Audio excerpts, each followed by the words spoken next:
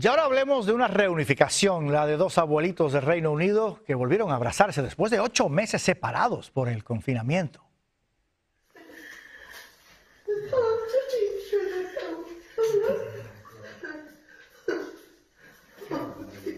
Este es el momento en que Mary, de 89 años, vuelve a ver a Gordon, su esposo por 68 años, con urgencia. Dejan atrás sus bastones, se apresuran a tocarse y darse un beso de enamorados.